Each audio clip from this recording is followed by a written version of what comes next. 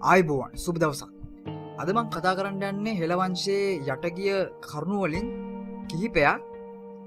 ඒ කරුණු ඔගොල්ලු දැන්ටමත් දන්නවත් ඇති.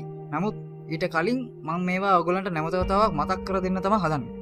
හොඳයි. වීඩිය කරන කලින් මුලි මතක් කරන කැමති තාම අපේ යක් පඩක්ෂ YouTube චානලක තාමත් සප්‍රප් කල නැත්තන් දැම සප්‍රප් කළ එකතුවෙන් හොඳයි.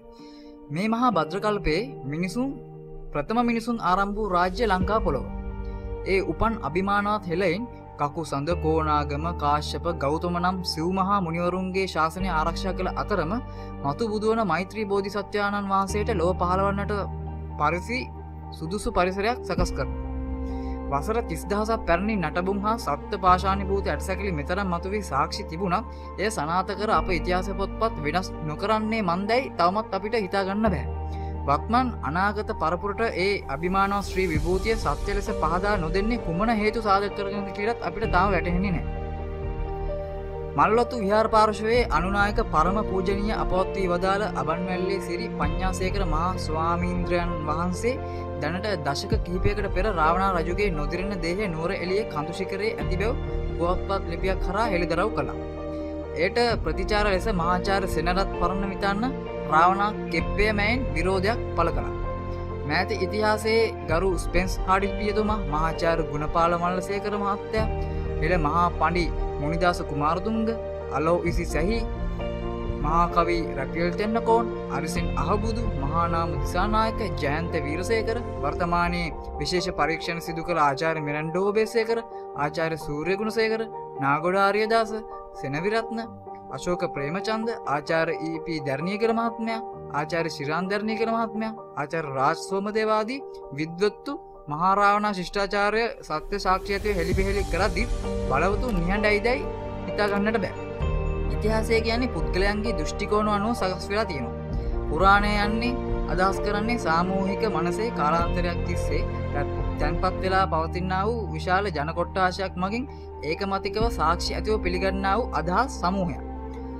පංච දුෂ්ටරිතයෙන් යෙදනු යක්ෂයකු ලෙස රාවණ රජු හඳුන්වාදීමට රාමායන කාව්‍ය වෙර දැරුවත් එම ග්‍රන්ථෙහි මහාරාවනා මහා රජුගේ ප්‍රතාපවත් බව අභිමානුවත් බව විශිෂ්ටත්වය දෙවියන්ටව සම කර නොහැකි බව උදාර මිනිස්ගති පැවති බව සැඟවී සැඟවී විස්තර කරලා තියෙන. හිස් දායක් හා අත් විස්සක් ඇති යක්ෂයකුගේ රුවක් තනා අපෙන් ඈත් කිරීමට වෙරදරු මහා රාවණ රජු මතු බුදුවීම පිණිස පාරම්දර පාරමීදම් පුරණ මහා බෝධිසත්වරයකු යයි එතුමාගේ චරිතය ගැන එතුමාගේ ගැන ලියව් පොතපත පරිශීලනය කරන ඕනම කෙනෙට්ට වැටෙන සත්‍ය කරුණු කතාව. ලංකාවේ සිතියම ඇඳ ඒ මත දසිස් රාවණ රජු යයි පඹයකු තියලා කෙටේරි පොරෝ පහරවල් ගසා දුසේරා උත්සවේ නමින් එය ගිනිතවා විනාශ කිරීම බොහෝ ඉන්දියානුවන්ගේ පැරණි සිරිතක්. අද ස්වාධීන රාජ්‍යයක් වූ ශ්‍රී ලංකා සිතියමට එසේ අගෞරෝ කිරීම අප පුරාණේ මහාරාවණ නම් ලෝකපාලක සක්ති රජුගේ ශ්‍රී නාමයට අගෞරය කිරීම සිංහලේ සිංහලේ තියෙන කාට හරි ඉවසන්නට පුළුවන්. හින්දු ආගමට අනුව තම ස්වාමයා මියගිය කළ භාර්යාවද ස්වාමයා දවන දරසෑයට ඇද දමා සති පූජාවයයි චාරිත්‍යයක් ඉටු කළා. එවැනිදේ ඉන්දයානු රාජ්‍යයෙන් තහනම් කළේ නම් අපට සිදුකරන ලබන මේ අගෞරය නවත්වාලීමට කතා කළ රාජ්‍යනාකයා කවුද. ඒට පෙළගැසුණු සංවිධානයක් තියෙනවද. ඒක එහෙම තියෙනවනගේ කවුද. ගුණෝතුන්ගේ ගුණ ගැයු සුදුස්සාට සුදුසු තැන දීම මහා පින්කම. ඒ සඳහා මට කියහැකි පමණි මම දායක වුණා. විවිධ ජානමංකොල්ලය ලෝපරා පැතිර ඇත්ති ශ්‍රී ලංකාවේ යක්ලේ ධාතුව රැක ගැනීම ඔබ සතු යුතුකම. ලෝට වැඩදායක හෙළයන් වඳවීයා නම් හෙට මුළු ලෝම අඳුරුවෙන. අනාගත තරුණ තරුණයන්ට අපේ පුරාණ අභිමානය ශ්‍රී භූතිය විදහා දැක්වීමට මේ කාලය එල්බිලා තියෙන්නේ.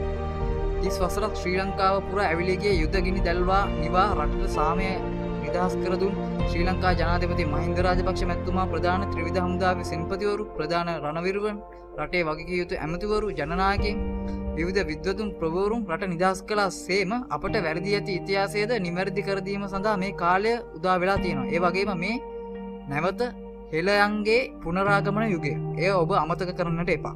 එනම් මේ මහා රාවනා රජුගේ ජාති අවදි වෙන්න ඕන. ස්තුති එනම් අපි නැවතත් මේ වගේ වීඩියෝකින් හමුුවම ඔබට සුබ දවසක්.